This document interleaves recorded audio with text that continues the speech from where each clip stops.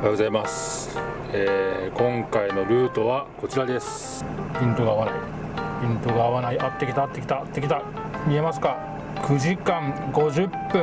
762キロ片道。えー、これはどこに行くかというとよし。スタートが愛知でビューッと行ってゴールがここ福岡です。年に1回あるんですよこの運行が。音声案内を開始しますで今が12時12分。休まずノンストップで走って夜の10時3分に着くと、まあ、休憩しまくってしまくっていくんで多分僕の予想だと朝方着くと思います。朝8時納品なんで。まあまあまあ間に合うは間に合うな。ということで今日が2月の4日なんですけど帰ってくるのが9日です。6日間行ってまいります。で今日の荷物は昨日積んだので、まあ、この運行に7日かけてるってことですよね。じゃあ出発します。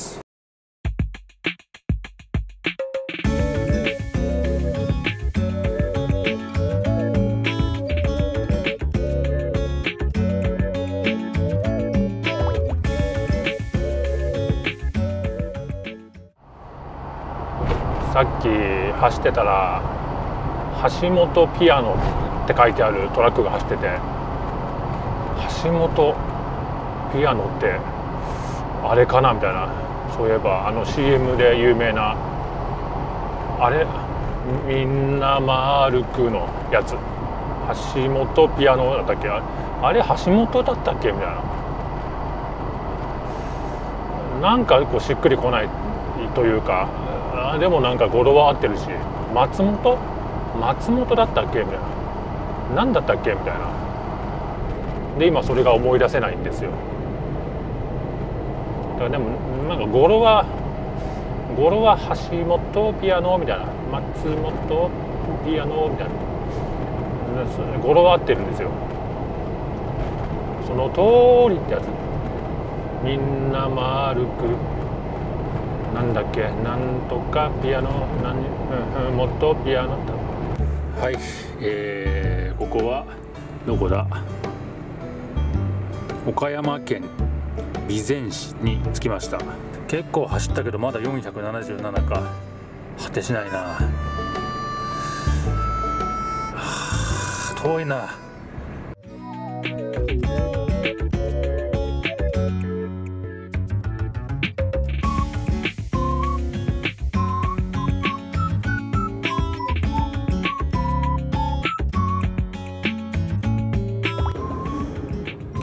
在、まあ、21時ですね。今ここは広島県廿日市かな。宮島サービスエリアに着きました。なんかここ穴子丼みたいのがあるらしくて美味しいらしいんですよ。晩ご飯まだなんで今日はそれ食べてこようかなと思います。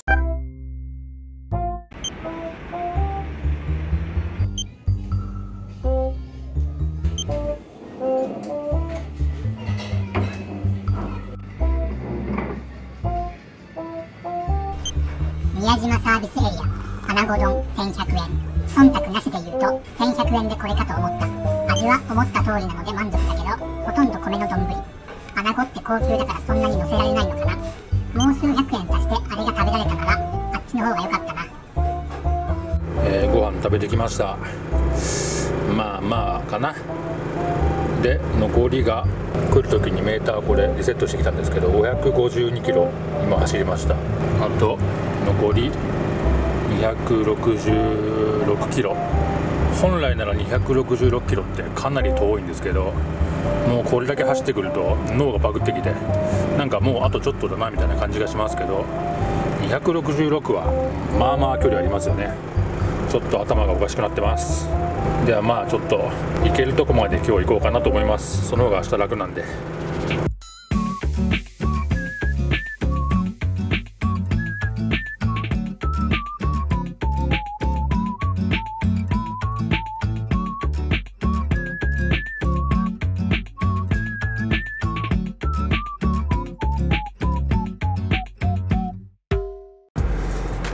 はい今ここです。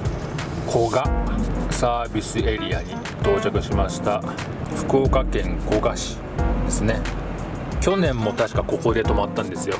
もうここからあと24キロちょいなんで、うん、もうあと朝起きて、えー、納品先行って下ろしてそこから自由なんでもう今が時間が何時ですか？今がもう夜の1時。回りました。で結構走りましたよ。これ。ほら805キロ走ってる。今日で。いや走ったな。では寝る準備して、えー、寝たいと思います。今日は風呂は入れません。ボディシートも忘れました。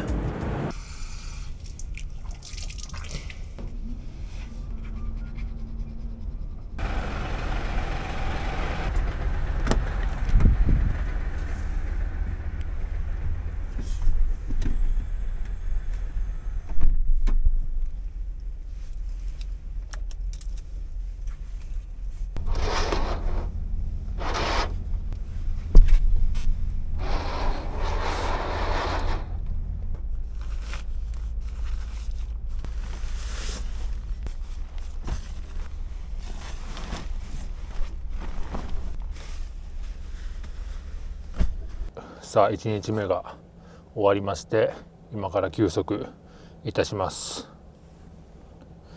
疲れましたね。で僕寝る前に YouTube のコメント欄をこうやってあの見るんですけどあのいろんなコメントがあのあります。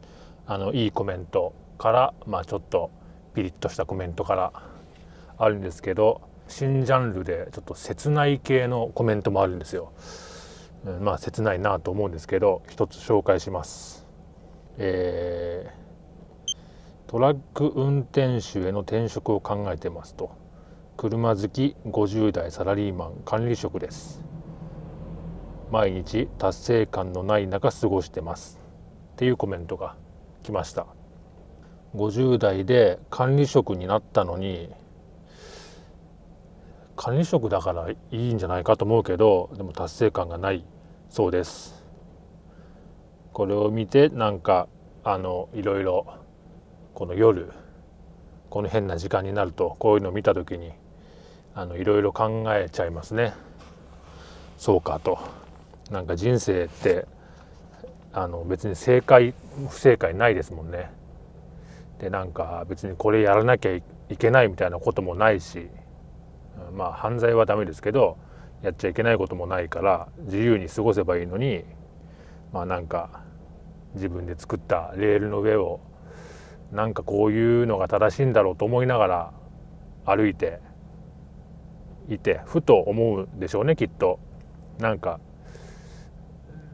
何もない人生だなみたいなことを思うんじゃないですか。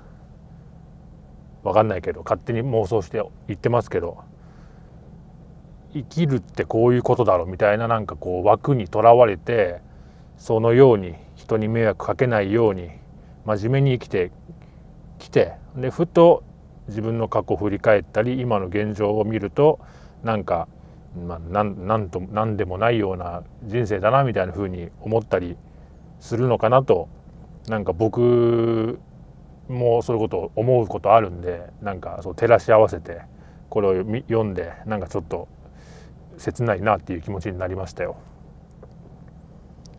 まあ、僕も今もうすぐ40歳手前で独身で彼女もいず一人暮らしでなんか何に向かって生きてるのか分かんないし登録者もそんなにいないような YouTube をやってあのご飯食べてますけどなんか現実をこうしっかり見るとまあちょっとなんか虚しいというか切ないというかって思う時もありますよ。何やってんだろうなって思うこともありますよ。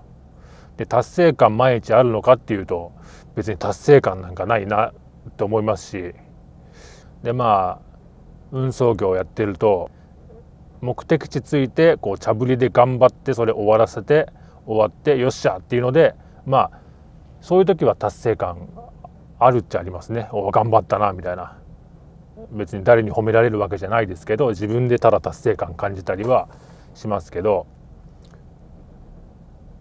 まああそうじゃなくてその人生全体で見た時になんかこう自分はなんか達成してんのかと思うと別に何もなんか成したことはないし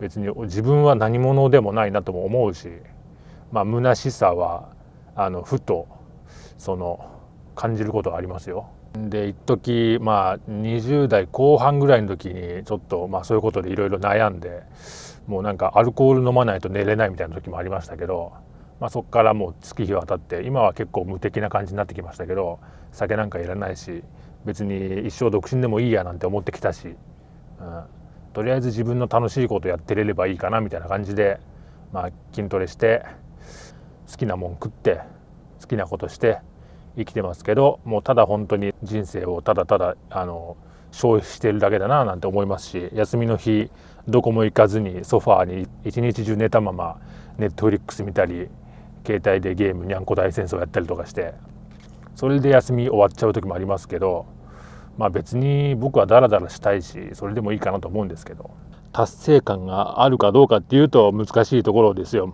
あの世の中の人全員達成感感じて生きてるのかなとか思っちゃったりしますよ。みんなどうしてるのかな？子供とかがいると子供の成長が楽しかったりもするんでしょうねきっと。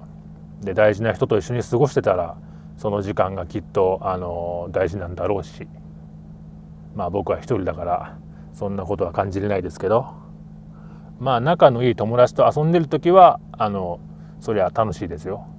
それがあの一番楽しいかな。自分の今生きている中でそんなもんですよ。まあ、38ですけど別にその10年後48歳になっても同じ感覚かなと思いますし50代になってもこんな感じなんかなと思いますけど何でしょうね達成感って難しいですよ。だってこの仕事して働いて働いてその先にゴールがあるのかっていうと別にゴールなんかないじゃないですか。ただ日々生きてるだけみたいな。ちょっとなんか変な時間なんでなんかポエマーっぽくなってきましたね。ちょっとこの夜が僕を変な感じにさせてますね。いつものなんかバカみたいなノリで喋れなくなっちゃった。やめよう。